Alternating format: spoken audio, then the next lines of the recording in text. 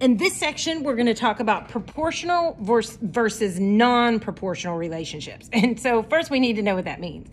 So if the ratio or rates, remember rates is a fancy way to say ratio, but two different quantities. If the ratio or rates of two quantities are equal, if they are the same, then the quantities are proportional.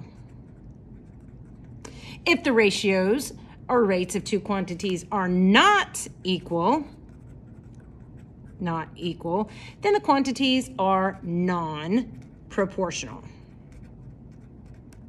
All right, so that seems easy enough.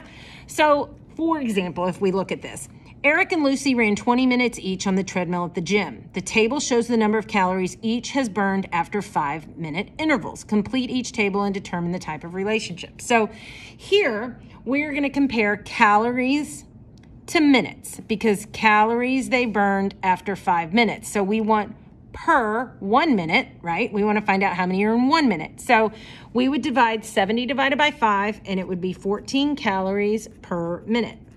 140 divided by 10 is 14 calories per minute. 210 divided by 15 is 14 calories per minute. And 280 divided by 20 is 14 calories per minute. Let's look at Lucy. If I divide by Lucy, 45 calories per minute, 45 divided by 5 would be 9 calories per minute. 90 divided by 10 is 9 calories per minute. 120 divided by 15 is 8 calories per minute. And 180 divided by 20 is 9 calories per minute. So the calories burned by Eric is proportional to the time because every ratio is equal. 14, 14, 14, 14.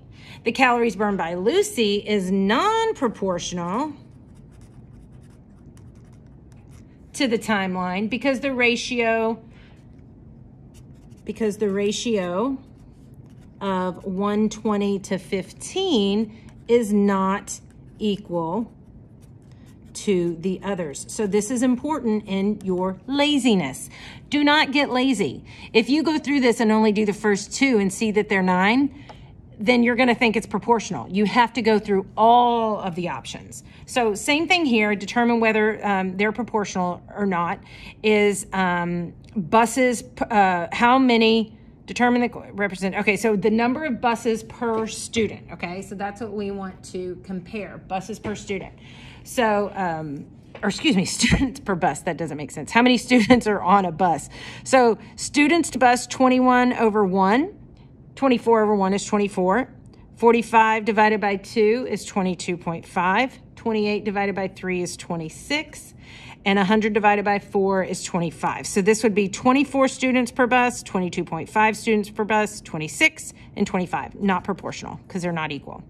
Okay, so remember we're comparing costs to units, so it's always going to be $36 per hour, 72 per hour. So 36 divided by 4 is 9, 72 divided by 8 is 9, 90 divided by 10 is 9, 135 divided by 15 is 9. So yes, it's proportional, but look, I need what is the constant rate? Your constant rate is $9 per hour. Okay, so that's the constant rate.